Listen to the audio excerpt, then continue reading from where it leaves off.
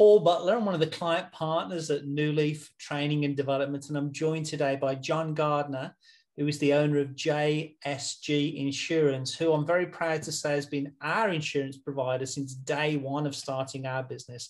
Hey, Jon, as you well know, for the last 15 years at Newleaf, we focus really on three things. Number one, helping people better manage themselves. Number two, helping people better lead others and number three, growing business acumen.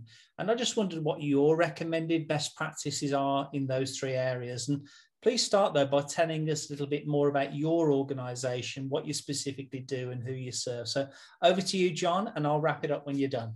Sounds good. Thanks, Paul. Thanks for having me this, uh, this afternoon afternoon.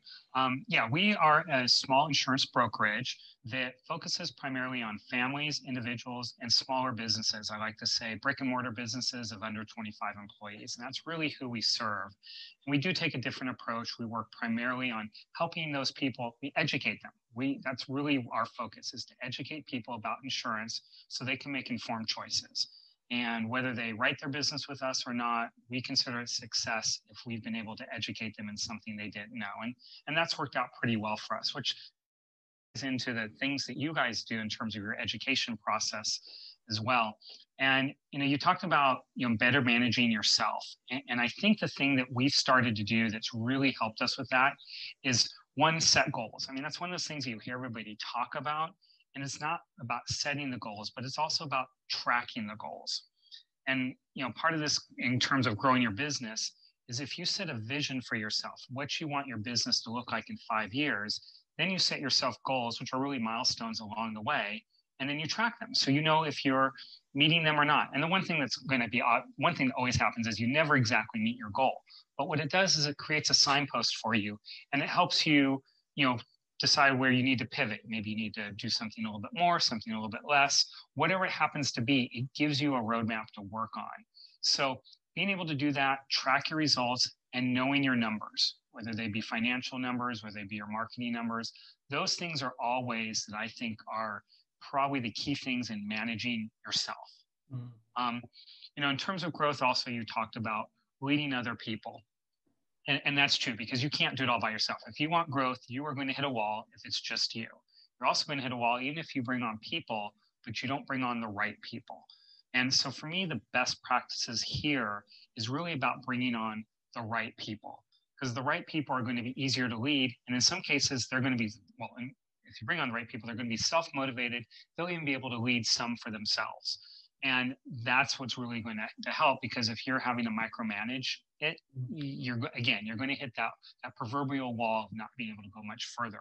So I think what's important is during your selection process is do you have core values? If your business has core values, do you somehow check for that during your selection process? Do you even include it in your job posting?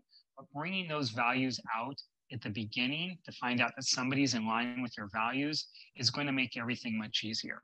Um, same thing with selecting you know, what is it, what are your expectations of what you want from that position and making sure the person has those qualifications to be able to do that without understanding exactly what you want out of the position, just saying, oh, yeah, I want a customer service mm-hmm. person.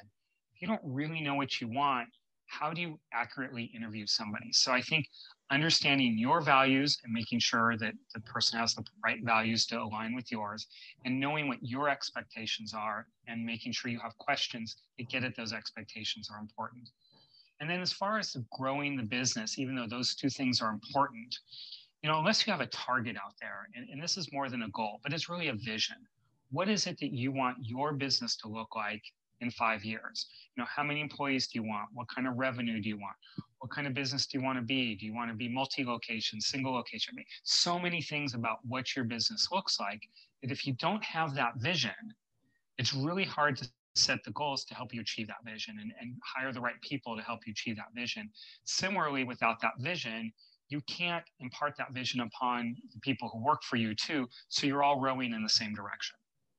So I think the biggest thing about you know this, this growing your business is really having the vision and really understanding where you're trying to head and then having a plan to get you there. So all three of these things really do tie together.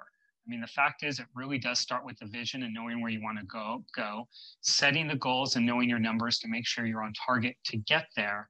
And then finally, hiring the right people that align with your values to, and also can see your vision to work with you, row in the same direction, and get you there as well.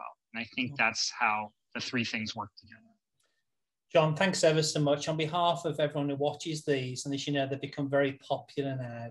Uh, thanks, Jon, for your insights to help people and organizations better manage themselves, lead others, and grow business acumen. Could I offer you a virtual high five, Jon? You can.